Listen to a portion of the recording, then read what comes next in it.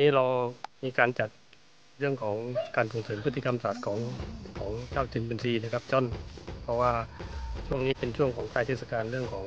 การแข่งขันฟุตบอลโลกที่จะถึงขึ้นที่จะเกิดขึ้นเมื่อในวันที่ 20พฤศจิกายนนี้นะครับ เป็นเป็นการเปิดของที่ทางประเทศกาตาร์เป็นเจ้าภาพนะครับ